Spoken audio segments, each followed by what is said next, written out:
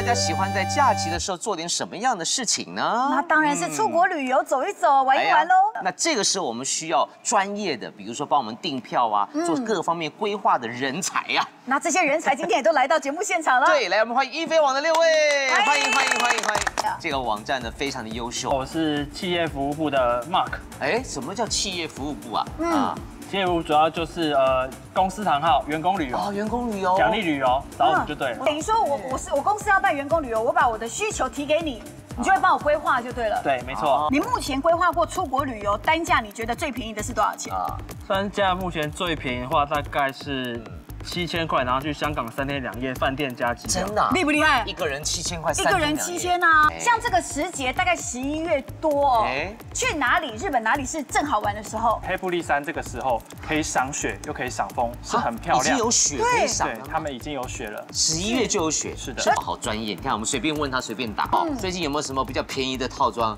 最近最便宜的北海道的话，应该可以到两万三千九，两万去几天？去五天，五天两万泡三三天，天温泉。真的？啊碰到这些旅游业者，我们自己都很开心。对。出去旅游是最爽的事情，观众有福利，有一些资讯啊，尤其是像每每逢旅展的时候。对，哎，原来是旅展又分两种，嗯。线上的还有线下的，就是实体实体的我们会鼓励大家来实体旅展，哎，真的吗？哦，对哎为什么？为什么因？为线上旅展通常只会做一些不定点的下杀，可是实体旅展我们一定会再做更多的优惠跟折扣，还会现场送一些赠品。那机票不就就网络上买了就哎就好了吗？是这样吗你会帮人家配套哦？什么意思啊？哎大多很多客人会说，那，我想要 A 点进 B 点出，哦是由我们来排。